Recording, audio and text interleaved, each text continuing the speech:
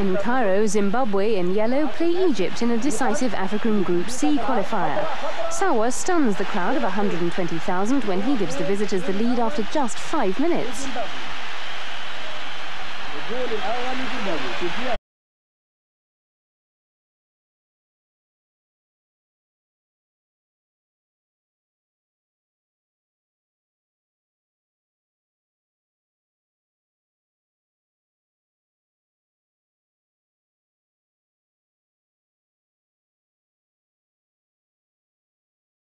استنى اسماعيل بيتحرك لي كويس أوي يلا اسماعيل وتاني اسماعيل قرب من خط اسماعيل ما تفقدهاش They're offered a lifeline when Fauzi Gamal is brought down for a penalty.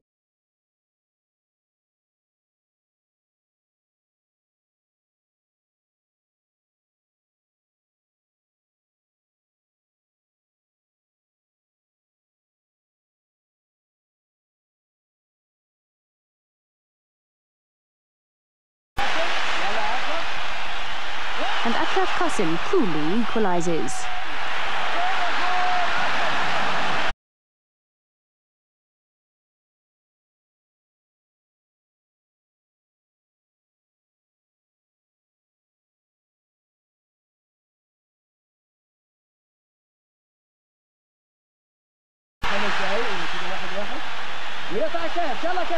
Spurred on by fervent support, Egypt launch into attack. Qasim Hassan scores the vital goal which takes them into the next round and the chance of repeating their 1990 qualifying success.